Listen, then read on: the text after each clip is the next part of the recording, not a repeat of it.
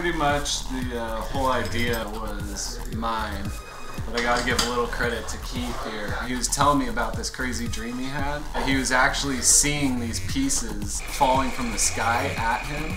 We just had to do it on our boards. This fucker stole my idea, and now Freebord's rocking. There it is. There it goes.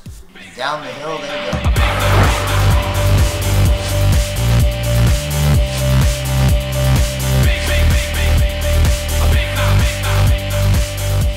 Done a lot of riding films in the past, and we've always tried to involve people as much as possible. We had 36 people, mostly from around the Bay Area. We relied really heavily on our community to get all the riders for this video.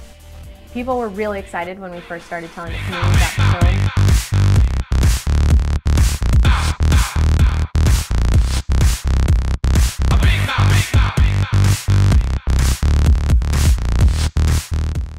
freebord itself is unique, so doing something that is unique with the freebord is even cooler. We're pretty much the only board out there that could actually pull this off. We're gonna have 36 riders, and everybody has a neon shape attached to their body. And uh, they're gonna be coming down a hill at night, and we're gonna have a camera up top that's looking down on them.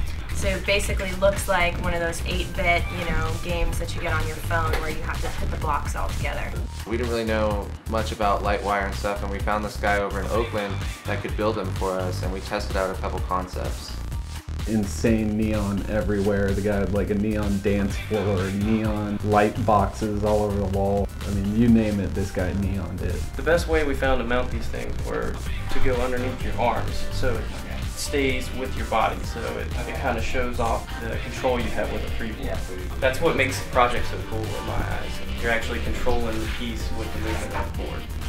Yeah, San Francisco is definitely the only place we would think of doing it. Not only is it our birthplace of freebord, but essentially this is where the hills are. We got a good crew of riders and uh, had to make sure that everybody was up for the challenge. I don't think it's going to be an easy shoot by any means. If one person messes up, then the entire shoot could be you know, ruined. It's gonna be kind of hard with uh, 36 people um, trying to do that, but I think I have faith. I have faith. we can do it. Action, action, action.